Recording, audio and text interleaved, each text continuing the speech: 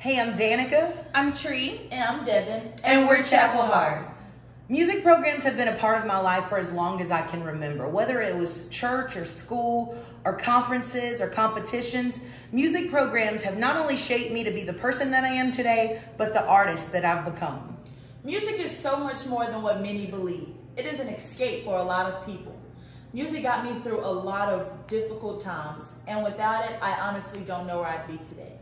And that's why we believe that now more than ever, our youth need programs that encourage music and the arts so they too might be able to use that creative outlet to deal with whatever life throws at them.